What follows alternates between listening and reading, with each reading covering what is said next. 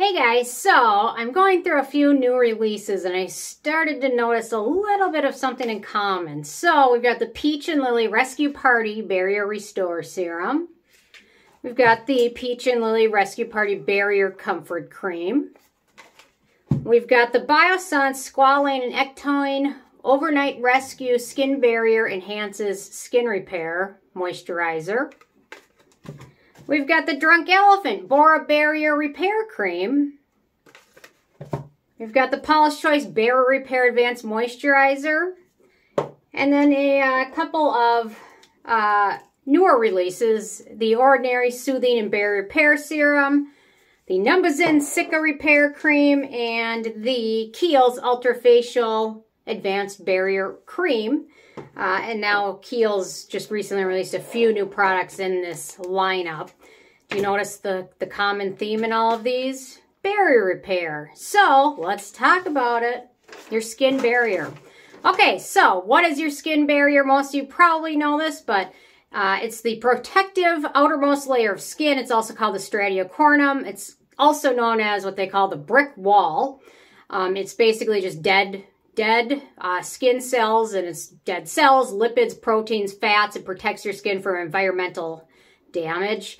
Uh, the rest of your skin is alive, but your skin barrier is all dead skin cells. Kind of gross when you think about it. And the barrier, the point of it, the purpose of it is it protects your skin uh, from bacteria, toxins, pollutants, chemicals. Uh, keeps those out at the same time keeping water and moisture in. So it's the most important part of your skin. Well, I mean, they're all important, but super important part. Uh, signs to know when your skin barrier is damaged, dryness, scaliness, flakiness, cracking, uh, inflammation, itchiness, redness, sensitivity, stinging, especially like when you apply products and you notice they sting. Sometimes, uh, I know most of us instantly think it's the product, but sometimes it could just be your skin reacting uh, because it's damaged, the barrier's damaged. Uh, sometimes acne and breakouts, and then bacterial and fungal infections are another sign of it.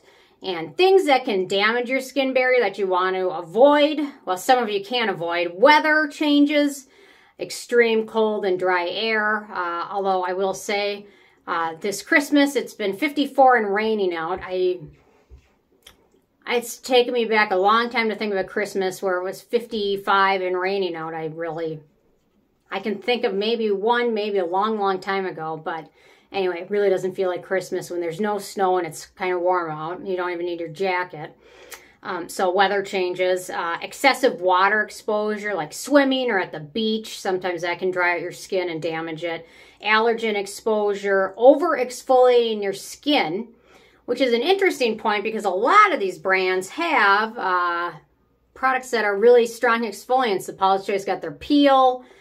Um, oh, Drunk Elephant, they've got their uh, baby facial, which is pretty strong. Anyway, so I kind of find it interesting when some of these brands release these barrier repair products uh, that go right along with the products that may damage your skin. Uh, over exfoliating so harsh soaps and cleansers a lot of products. It's hard to find a soap, face soap anymore. They're really, I mean, I guess there are soaps, but it, soaps are different than cleansers and things like that. Or harsh cleansers that are too strong or contain uh, strong uh, surfactants in there. Too much sun exposure, steroid use, uh, and I mean topical steroids, not other steroids. Maybe that causes it too. I don't know. I haven't I haven't dabbled in that. So um, allergens, irritants, pollutants, genetics, and then sadly aging. Not much any of us can do about some of those, but obviously there's a lot of things we can do to help protect it. Um, gentle products. Uh, the pH of your skin acid mantle is 4.7, so products with a pH around that are typically going to be more gentle than like super strong exfoliants where the pH is like around 2. Uh, the best example I have for that would be the Sunday Riley um, exfoliant. I can't remember the name. Oh, Good Genes. That one's very low pH, very strong.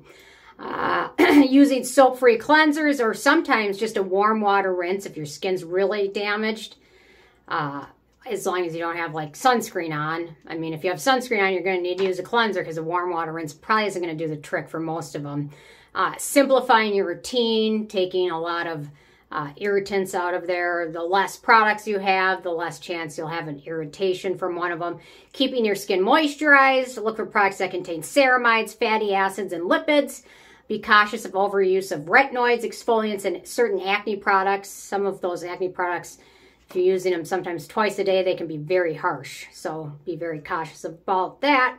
And then other plant oils that can really help with your barrier repair, jojoba oil, coconut oil, almond oil, uh, argan oil, almond oil, um, borage oil, rosehip oil, sunflower oil, soybean oil, primrose oil, and black currant oil are all going to be uh, your best friends. So let me talk about a few of these. So this is the newest Drunk Elephant product. I find it to be super thick. I don't find it to be super aesthetically pleasing to use for uh, ingredients in here. It's got good oils, evening primrose oil, jojoba seed oils in here. We've got fatty acids, rosehip oil. Um, yeah, so it's got some good things in here that will help with your barrier repair, but I just find the texture um, I can use it at night, but I do find a lot of times when I use it, I'm peeling it off. So anyway, so here it is. I talked about this in another video, but um, here it is. So it's got a thicker texture.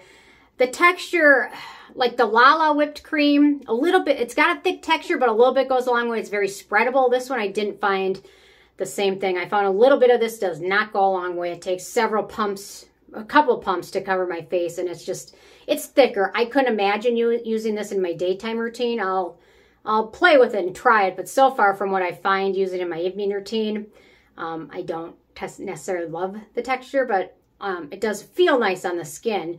And perhaps I'll keep playing with it because I've only had it a, a little over a week.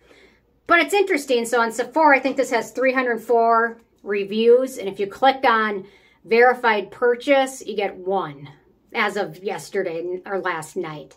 So I've got 303 reviews of people that got it for free and then one actual verified review. And to be honest, I don't know how anybody could do a real thorough review of something when it's not been out very long. I don't know. But anyway, I'm finding it thick. It's got the good ingredients that will help with your barrier repair, but the, the uh, aesthetically pleasing part isn't quite there. But I'm going to keep testing it because perhaps it's something else it's not playing well with that's causing it to peel off. Anyway. I'm going to keep playing with it. Um, okay, so the Biossance Squalane Ectoin Overnight Rescue Barrier Repair Serum or Cream. This stuff's really nice. Actually, I'm really liking this. Um, so for ingredients, we've got squalane in here. Ectoin's a really good uh, ingredient. It's got some peptides in here. It's got a couple fatty acids. Um, yeah, so jojoba esters. I would love to see another oil in here or something, but anyway, it's overall, it's pretty nice. I played around with it a few days now. Um, packaging is nice. Biossance was sold to the Hut Group, FYI. So anyway, that's a bummer. The Hut Group owns like Dermstore, um, Skin Store, Cult Beauty. They're really big into Derm. Yeah, they're getting big into the U.S. now. So, okay, so I'm just peeling this off the top of it. So here we go. Not crazy about the jar packaging, but anyway, the texture of this stuff is uh, much more spreadable and very nice. Although in terms of barrier repairing ingredients, uh, the Drunk Elephant is a little bit more impressive in terms of that. The price of these are pretty close as well. Um, they're not too far off in price. They're both very expensive. So anyway, so so far I enjoy the texture of this one more, but I enjoy the ingredients of the Drunk Elephant more. Okay, next up, the Peach and Lily. So we've got the serum. So and I will link to all these below. Okay, so for the serum, let's talk about the ingredients. We've got oat kernel oil. That's a really good one for soothing.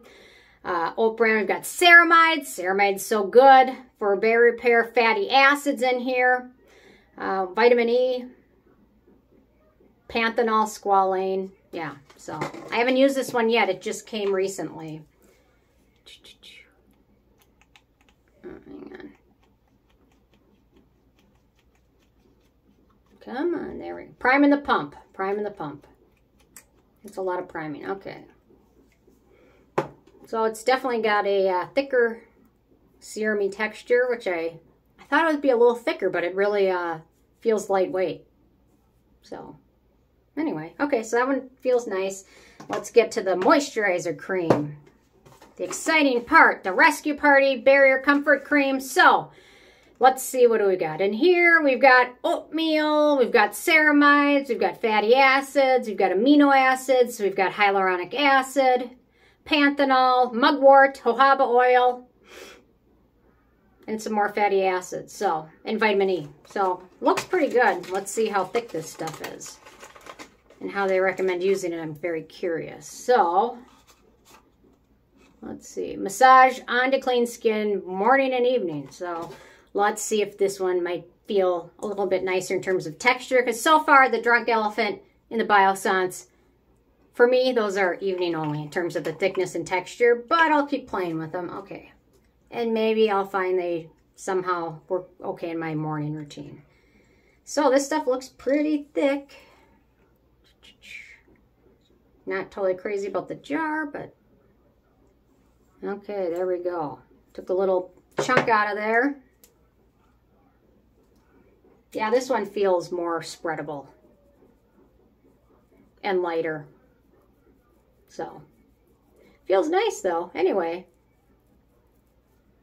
And you know what? The interesting thing is none of these feel really greasy. You'd think, or shiny or radiant. You'd think with um, a lot of those fatty oils and ceramides, you'd think it'd feel greasy or look shiny, and none of them really do. So that's that's interesting.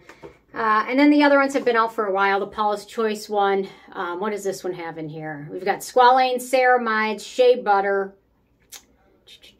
Urea is another good one. Watermelon seed oil, that's another good one. And I have not used this one yet.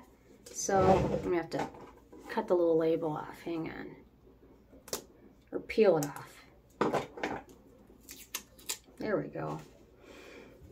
So let's give this one a whirl. Here we go. Oof, that was a big pump there.